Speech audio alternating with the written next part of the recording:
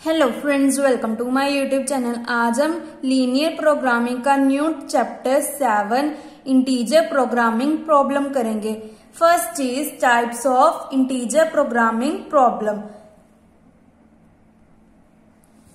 there are three types of integer programming problem first is pure integer programming problem second is mixed programming problem and third is zero one or standard discrete programming problem.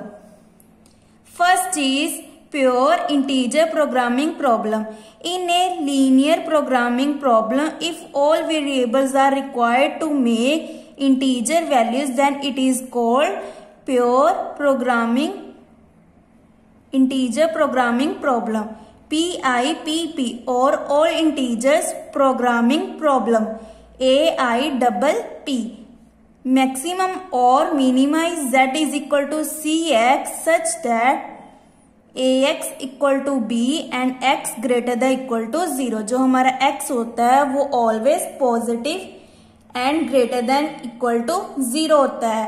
And जो हमारा x जे होता है are integer for all j second is mixed integer programming problem In a linear programming problem, if some of the variables are restricted to integral value, other can use any real value. The problem is called mixed integer programming problem.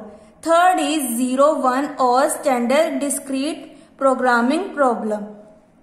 In programming, in linear programming problem, if all the variables are allowed to take value either 0 or 1 then the problem is called 0 1 programming problem or standard standard discrete programming problem so so, हमारी three types की integer programming problem होती है first is pure integer programming problem second is mixed integer programming problem and third is zero one और standard discrete programming problem